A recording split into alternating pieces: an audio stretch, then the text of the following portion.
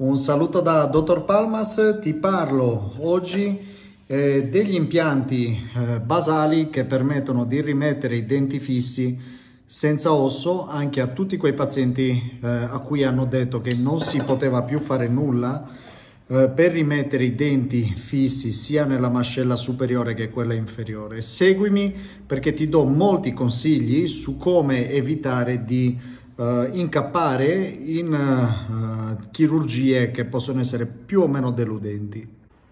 Quelli che vedi qua sono uh, dei modelli che ti mostrano come vengono realizzati gli impianti per mascelle completamente atrofiche eh, che permettono eh, di rimettere i denti fissi anche in quelle condizioni di completa assenza di osso. Qua vedi Prima di tutto un dettaglio, ovvero questi eh, impianti vengono avvitati sulla corticale ossea residua, sarebbe la parte esterna dell'osso riassorbito e vengono avvitati per mezzo di viti da osteosintesi che sono da decenni utilizzate nei dipartimenti di chirurgia maxillofacciale.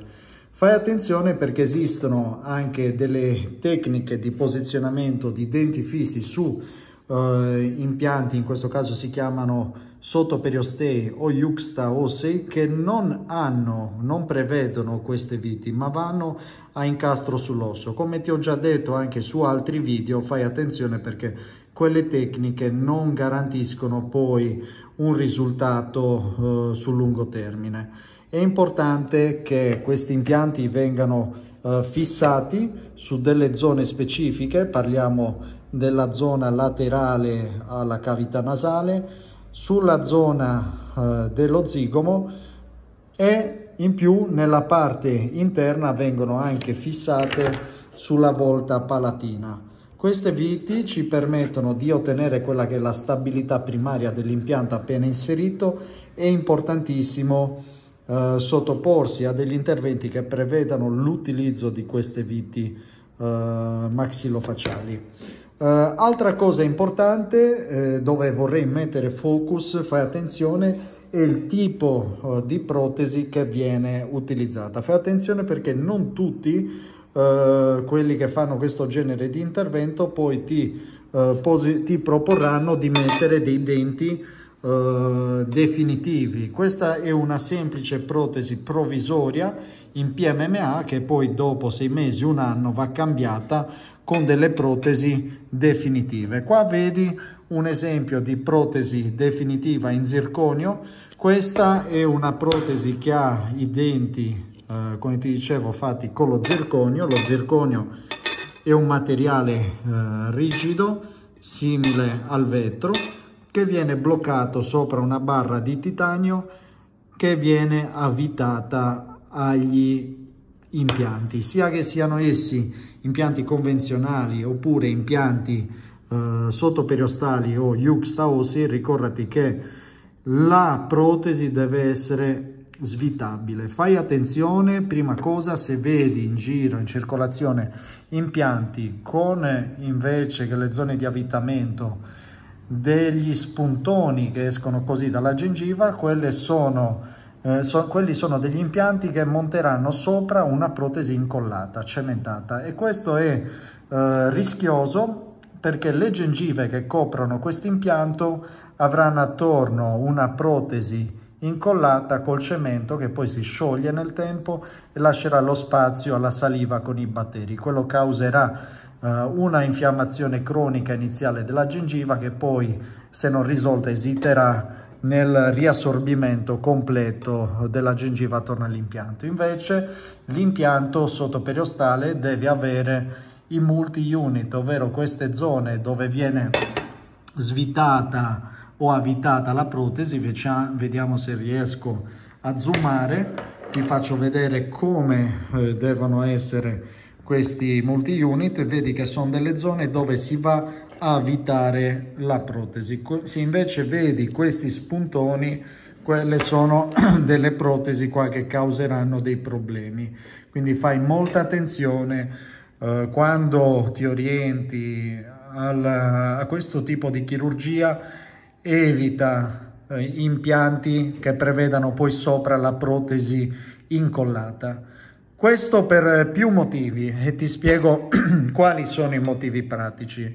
Il primo è che quando noi andiamo a mettere la protesi eh, incollata, cementata sopra a questi spuntoni, la protesi inevitabilmente dovrà avere il diametro eh, di dove sono stati messi questi spuntoni qua e purtroppo non sempre coincide le zone di questi spuntoni con le zone dove dovrebbero essere gli impianti. Quindi significa che questo ferro di cavallo questi denti che vanno montati incollati sopra a questi spuntoni c'è il rischio che siano più piccoli in realtà come ampiezza rispetto all'ampiezza che dovrebbero avere nel sorriso questi denti. Quando invece noi andiamo a avvitare le protesi invece che incollarle, cementarle, vedi che i fori possono anche essere più interni, ok? E i fori dipendono eh, praticamente da eh, dove eh, è rimasto l'osso,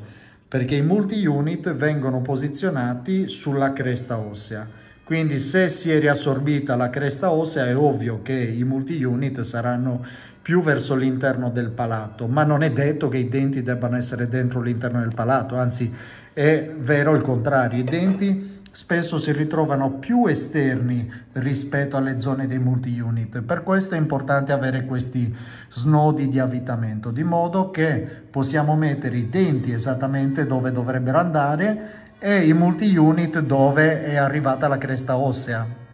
Quindi per ricapitolare, è importante che le protesi che montano sopra gli impianti basali abbiano i multi-unit per poter avvitare la protesi. Oltre a questo evitiamo di avere eh, colle, cementi tra la protesi e l'impianto dentale e quindi evitiamo di avere delle zone dove si possa sciogliere il cemento e si creino poi delle infiammazioni gengivali. Il paziente che ha perduto molto osso è un paziente particolare eh, che non ha più eh, praticamente eh, tutta una grande quota di osso, vedi quella che è la situazione reale, e c'è il rischio che si creino dei ginocchi dove si va a depositare il cibo. Per questo è importante poter svitare la protesi per fare la corretta manutenzione. Oltre questo, gli impianti eh, sottoperiostali spesso li andiamo ad accoppiare con quelli che si chiamano impianti pterigoidei. Gli impianti pterigoidei sono questi impianti che vengono posizionati nella zona posteriore e fungono da ancora per dare ancora più stabilità a questi impianti speciali, impianti che vengono disegnati con il computer, prodotti con delle stampanti di metallo e per evitare che ci sia tutto il carico che vada distribuito solo su questo impianto, allora andiamo spesso, se c'è la, la tipologia di osso che ce lo consente, a inserire degli impianti speciali pterigoidei.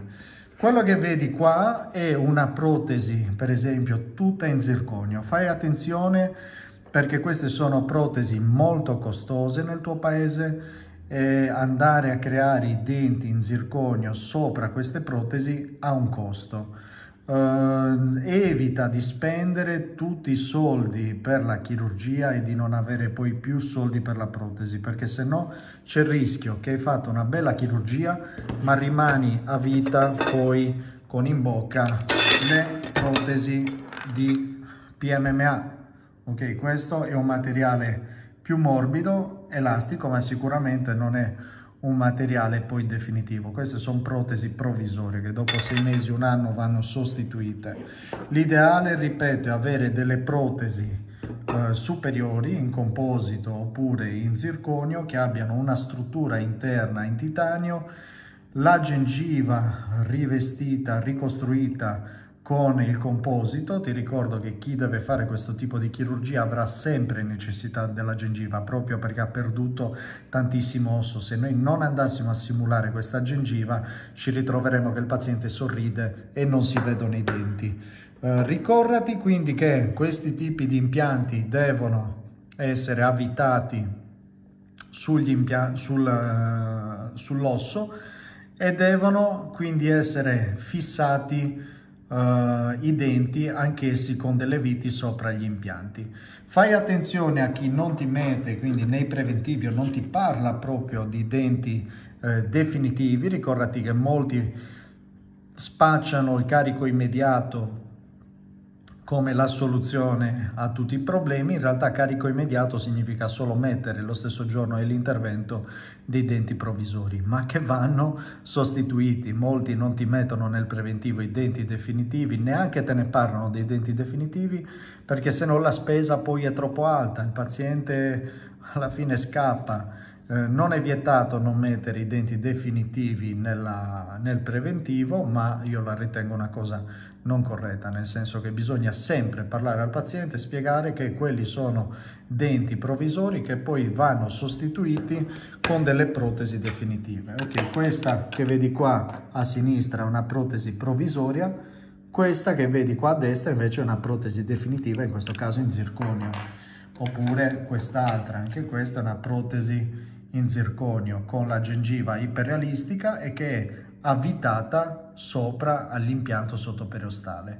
Ricordati che i fori non coincidono mai con la posizione dei denti, i denti vanno messi dove vanno messi e i multi-unit vanno invece posizionati dove è rimasta la cresta ossea. Ok, questo è importante perché poi i multi-unit vengono posizionati dentro alla cresta ossea proprio per evitare che poi eh, la gengiva si ritiri.